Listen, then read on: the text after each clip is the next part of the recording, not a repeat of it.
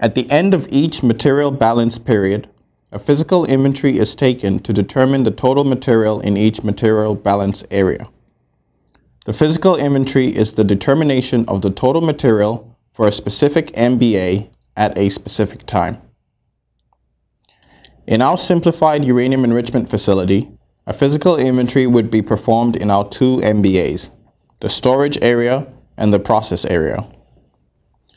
In the storage area, item accounting would be performed based on the number of UF6 cylinders counted and the identification number, numbers verified for feed, product, and tails storage. While the weight and enrichment of randomly selected containers in the storage area will be verified using bulk accounting measurements, the main accountancy method used in these areas is a physical count, including a verification of the identity and integrity of the containers.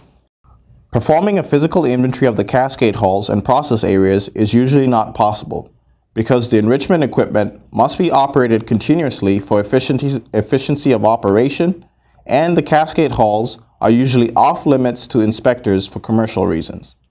As a result, the inventory within certain areas of the facility must be estimated through volume, pressure, and temperature calculations for gases and deposition estimates for solids. Whenever measurements can be taken, the majority will involve UF6 cylinders. These measurement systems used to determine the physical inventory include gross weight measurements, uranium assay, uranium-235 concentration, impurity concentrations, and measurements of waste materials. When we talk about material unaccounted for, or MUF, for uranium enrichment facilities, we have three verification goals that must be met. First, the comprehensive MUF for a material balance period must be less than one significant quantity. Second, the comprehensive MUF must be less than three times the MUF uncertainty.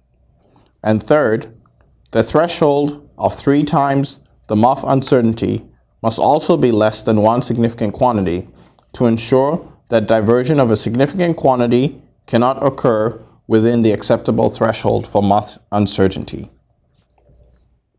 The total MUF uncertainty is a result of random and systematic errors in the material accountancy measurement systems. In the storage area, item accounting is performed with a physical count and should confirm the presence of all UF6 cylinders, and thus no MUF uncertainty is expected. In the process areas, where bulk accounts is used, a non-zero value for MUF uncertainty is expected.